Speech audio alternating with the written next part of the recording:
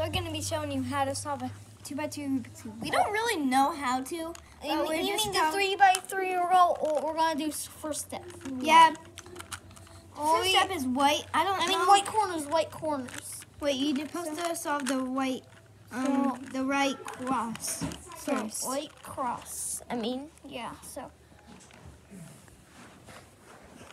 So, you see my Rubik's cube here. We just, I'm gonna see up here. There's a middle one right there. You see that? So you just can move it like this. down and like this.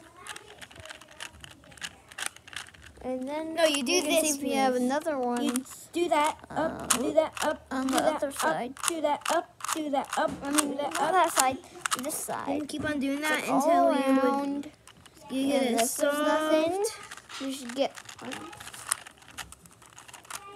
I almost got it solved. One more. Okay, I did it.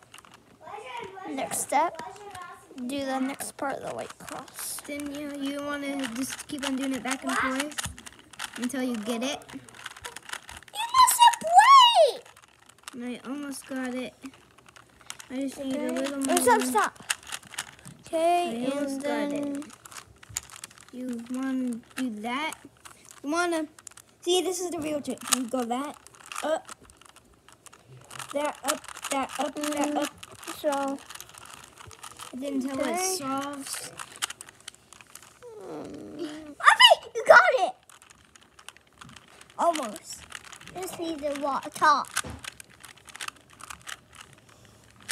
Coffee, where's your? You're so stupid. so look, I almost got the right white cross done. I'm still trying to do the bottom. Let's see. No, it doesn't work. Maybe if I do this, that, this. If you do, this is what the trick is. You do that. Go up. Do that. And I got the white cross done.